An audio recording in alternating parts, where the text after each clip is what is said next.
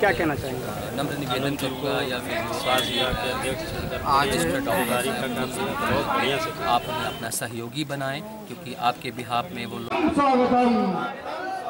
Doctor P Nayyar साहब जिंदाबाद।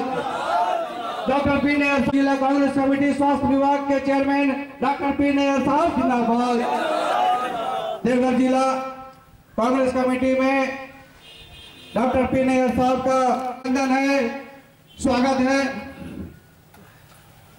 आप लोग का जो भी छोटी बड़ी समस्या की सारा समस्या का समाधान का रास्ता डॉक्टर पी नैयर साहब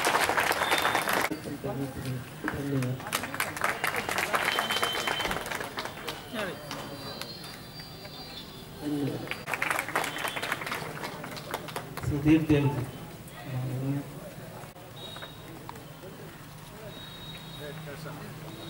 सभी साथियों से आग्रह है।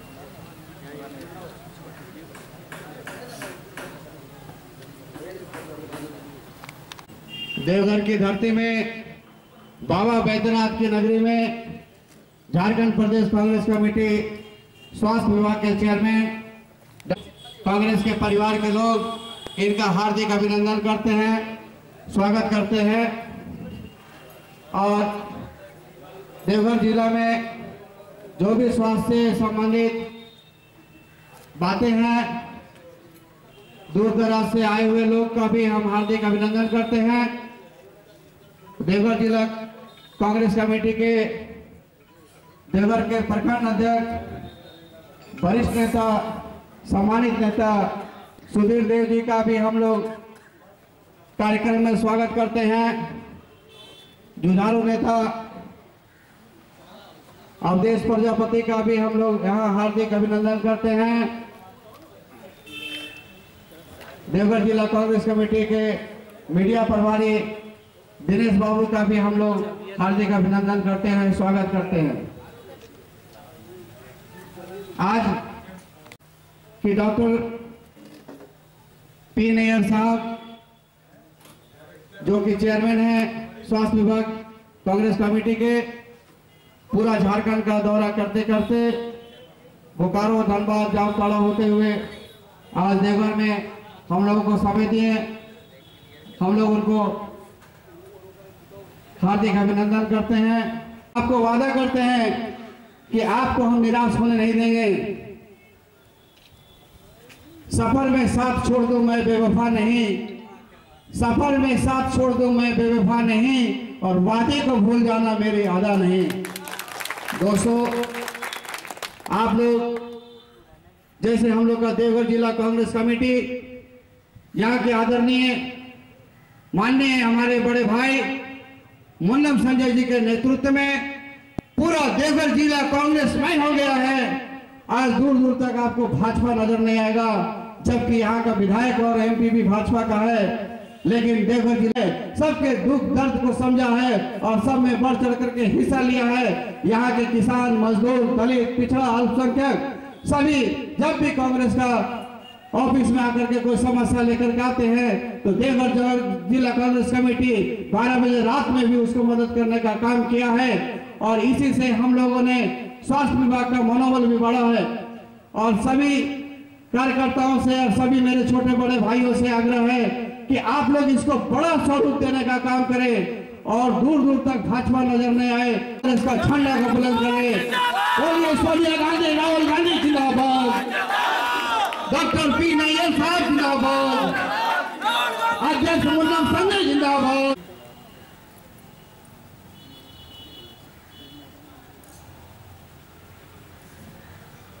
इस प्रोग्राम की अध्यक्षता करते हुए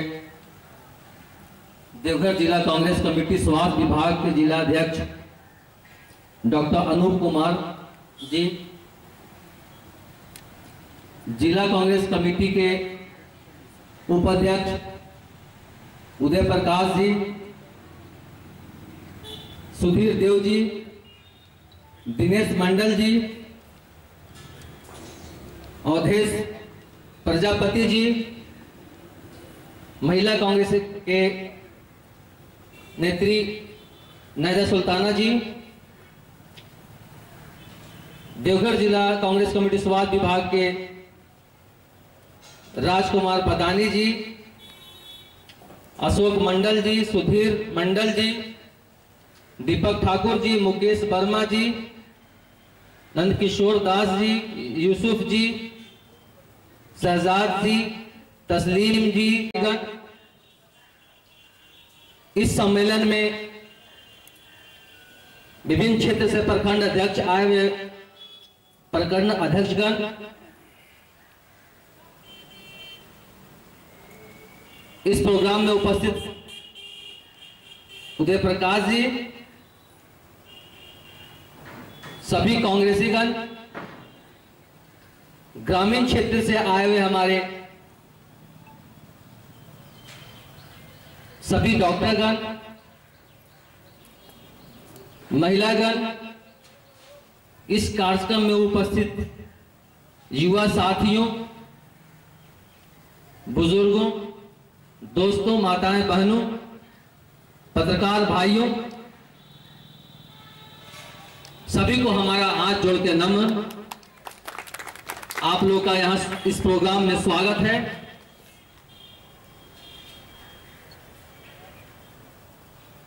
इस देश का जो हाल हो गया है इस वक्त,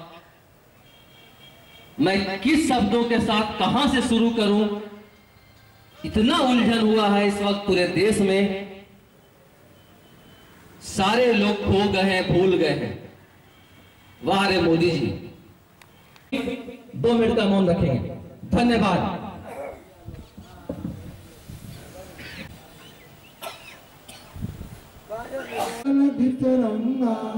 तब सुबह में जागे आज की जो बैठक है क्या चीज़ को लेकर किया गया है और क्या निर्देश दिया गया आप लोग को? देखिए देवघर जिला कांग्रेस कमेटी स्वास्थ्य विभाग का कमेटी का आज एक सम्मेलन था विस्तारीकरण हुआ है।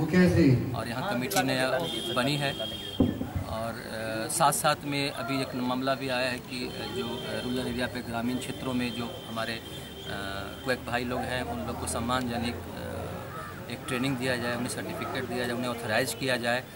और मैं हमारे हम अपने हेल्थ सेक्रेटरी साहब से एवं हेल्थ मिनिस्टर साहब से मैं मिल के संपर्क करके ये मांग पत्र रखूँगा मैं कि उन लोग को अधिकार दें और मैं आप लोग के माध्यम से मैं यहाँ के जितने भी झारखंड के रूलर प्रैक्टिसनर प्रैक्टिशनर लोग हैं क्वैक लोग हैं उन सबों से मैं आपको हाथ जोड़ के निवेदन करूँगा कि आप लोग हमारे कमेटी से संपर्क करें और हमारी कमेटी कमेटी से जुड़ें क्योंकि आप लोगों के लिए सिर्फ़ कांग्रेस ही सोच सकती है। बीजेपी बिल्कुल नहीं सोच सकती है। इसीलिए मैं विभिन्न क्षेत्रों में जाकर के अपना कार्यक्रम कर रहा हूँ इस वक्त। सर आप एक वर्ड भी यूज़ किए थे कि झोला छाप डॉक्टर ना बोला जाए।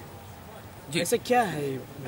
मैं मैं आ, सुनने को आता है कि लोग उन्हें इस तरह से संबोधित करते हैं तो मैं आम जनता से नम्र निवेदन करूँगा या फिर जो ऑलरेडी रजिस्टर्ड डॉक्टर्स हैं, उन लोग से भी कहूँगा कि आप उन्हें अपना सहयोगी बनाएँ, क्योंकि आपके बिहाफ में वो लोग, आपके गाइडलाइन पे वो आपका जितना मिनिमम चीज़ हो, वो उपचार कर सकें, उन्हें भी सम्मान देने का काम करें। मैं झारखंड सरकार से उन लोगों के लिए भी मैं मांग करूँगा कि उन्हें एक सम्मानजनक पोस्ट मिले और उनकी भागीदारी मिले, कहीं न कहीं स्वास्थ्य विभाग में, झारखंड सरकार में प्रशिक्षण मिले और उन्हें भी एक रोज़गार का मौका दिया जाए। मैं ये मांग करूँगा और सभी जितने भी झारखंड में प्रैक्टिस करते हैं रूरल क्षेत्र पर उन लोग से फिर से मैं बोलूँगा कि आप लोग हमसे जुड़े, इस परिवार से जुड़े, आप लोगों के लिए हम लोग सोचेंगे और पहल करेंगे। साथ साथ में एक चीज़ पूरे देश में एक मांग हो रहा है एस्टेब्लिशमेंट एक्ट का मांग हो रही है इस वक्त। तो इसमें दो बेड वालों को भी सर्टिफिकेट के लिए मांग हो रही है कि उन्हें सर्टिफिकेट करना पड़ेगा। आप भाई, इसकी मांग मैं इस स्टेज के माध्यम से मैं भी अपने झारखंड सरकार हेल्थ मिनिस्टर से और हेल्थ सेक्रेटरी से भी करूँगा कि आप एक ऐसा पहल करें जो सेंट्रल ने शुरुआत कर दिया है इस तरह से जो छोटे छोटे जो गरीब हैं, जो जिनके पास दो बेड है, एक छोटा सा क्लिनिक चलाते हैं वो और लोगों की मदद कर सकते हैं तो उनको इस एक्ट में ना लाएँ।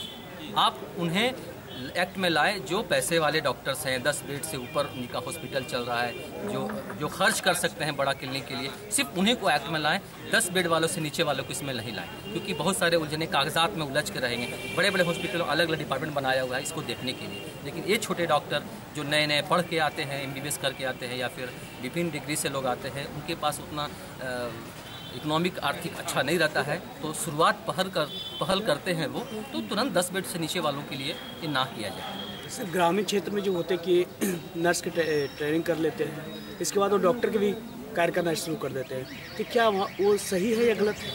देखिए मैं उन नर्स एनएम हो या आपको जीएनएम हो जो कर रखी है जिनके पास सर्टिफिकेट है क्योंकि उन्होंने कोर्स कर रखा है तो उनके पास उत्तम जानकारी होती है तो वो बेहतर तरीक़ा से इसको कर लेती है। लेकिन जो ऑलरेडी सिर्फ़ सीख के आती हैं अलग अलग क्लिनिक में हॉस्पिटल्स में तो वो अगर कोई बड़ा केस करती हैं तो मुझे लगता है कि उन्हें अपने से खुद नहीं करना चाहिए। एक तजुर्बेकार डॉक्टर के साथ मिलके वो करें तो ठीक रहेगा।